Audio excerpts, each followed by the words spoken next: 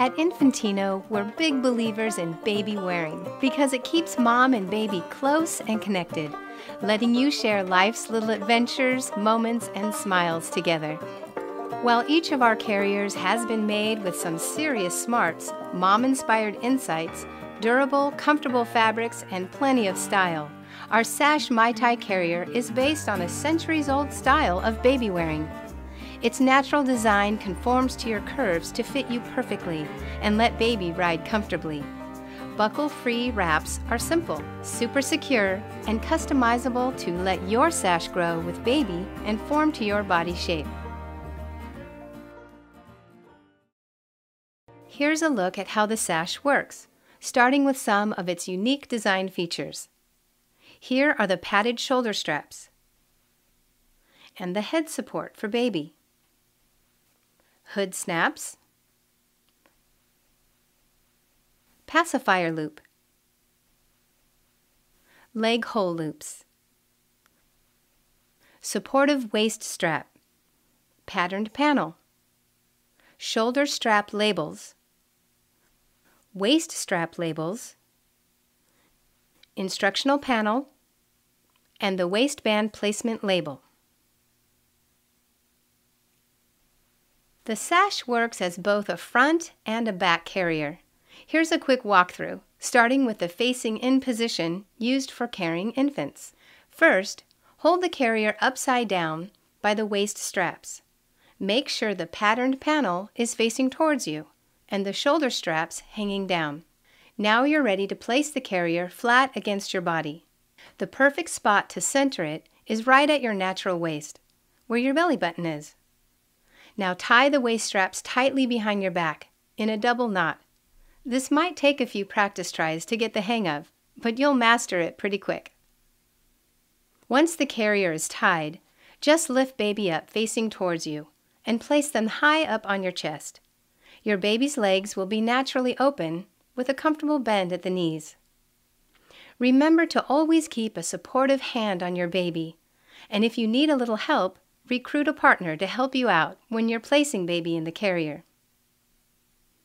Now, keeping one hand secure on baby, pull the carrier over baby's entire body and then drape the shoulder straps over your shoulders so they hang behind you.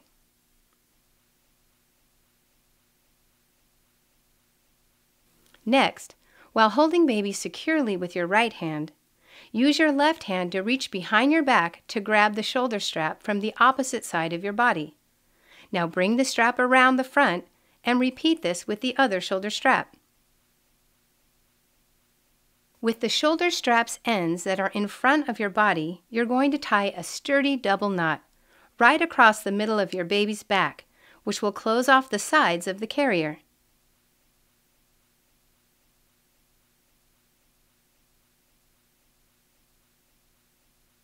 Double check to make sure that the straps have formed an X on your back, like this. Baby's head should be turned to one side to ensure they can breathe comfortably. Once your little one is past infancy and can hold his or her head up well, you can carry them like this. First, hold the carrier upside down by the waist straps. Make sure the pattern panel is facing toward you and the shoulder straps are hanging down. Next, place the carrier flat against your body. The perfect spot to center it is right at your natural waist, where your belly button is. Now tie the waist straps tightly behind your back in a double knot.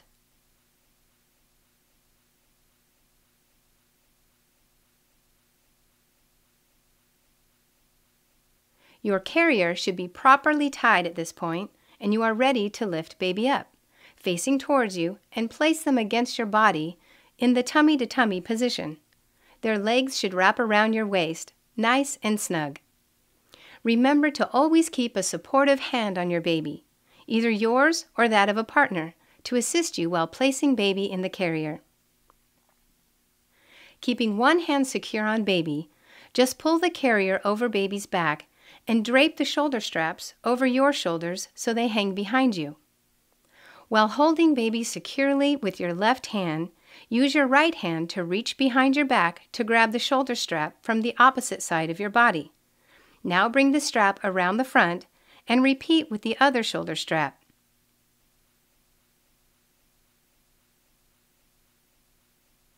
With the shoulder straps in front of your body, you can front tie across the middle of baby's back in a double knot.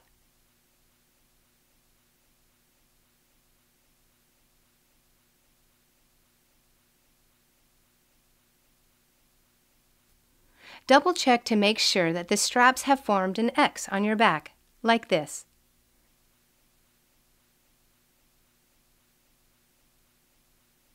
If the strap length allows, you can tie in the back. For a back tie, just take the shoulder straps over baby's thighs, cross them under their bottom, wrap them back beneath the child's legs, and tie in a double knot behind you.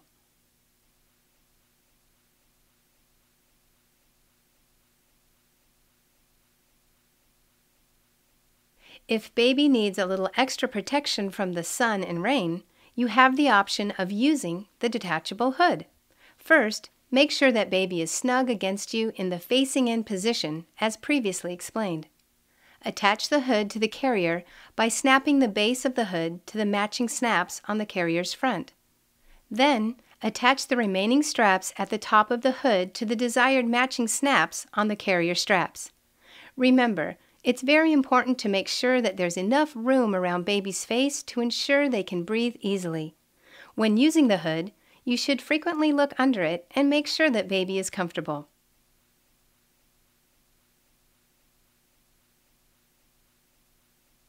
When it's time to remove baby from the carrier, make sure to do it slowly and carefully, all while keeping at least one hand against baby and underneath the sash. First, Untie the double knot you created with the shoulder straps and let the carrier fold down in front of you. Now baby is no longer being carried by the sash, so it's very important that you support him or her here. Place baby down in a secure location while you untie the waist straps and fully remove the carrier.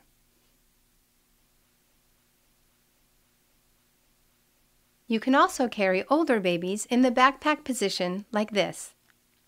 Start by holding the carrier behind you and upside down by the waist straps.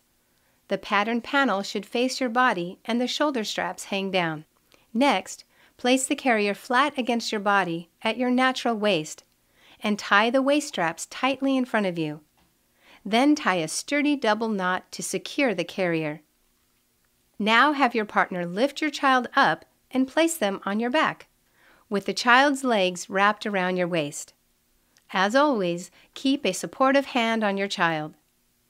With your partner still supporting the child, pull the carrier body over the child's back and drape the shoulder straps over your shoulders so they hang in front of you.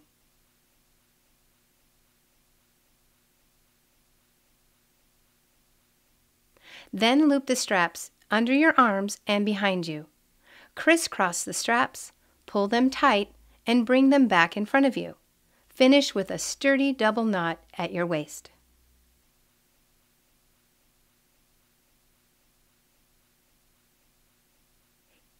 Now for removing baby from the back carry position. Have your helper support the child while you untie the shoulder straps. While your helper is still supporting the child, remove both shoulder straps and have them lift the child out of the carrier body. Next, untie the double knot securing the waist strap, and remove the carrier completely. For babies that can sit up on their own, you can use the convenient hip carrying position. This position starts by holding the carrier upside down by the waist straps with the pattern panel facing toward you and the shoulder straps hanging loose. Now place the carrier flat against your body at your natural waist and off to one side. Then tie the waist straps tightly in a double knot, opposite the hip that you'll be carrying baby on. Once your carrier is properly tied, lift baby up and place them on your hip. Their legs should wrap around your waist comfortably. Keep that supportive hand on baby when wrapping the carrier. With one hand secure on baby, pull the carrier body over baby's back. Place one shoulder strap over your shoulder and bring it across your back. Now take the other shoulder strap and drape it over your shoulder and across your back. With the shoulder straps in front of your body, you can front tie across the middle of your baby's back in a double knot.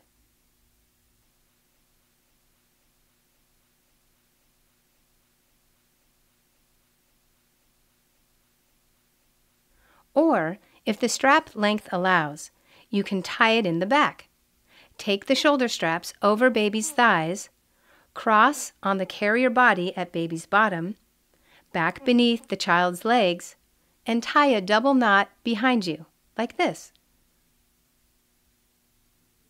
When it's time to remove baby from the carrier, make sure to do it slowly and carefully, exactly like you did with the facing in position. Remember to always keep a supportive hand on baby throughout the entire removal process. First, untie the double knot you created with the shoulder straps and let the carrier fold down in front of you. Now baby is no longer being carried by the sash, so it's very important that you support them here. Place baby down in a secure location while you untie the waist straps and fully remove the carrier.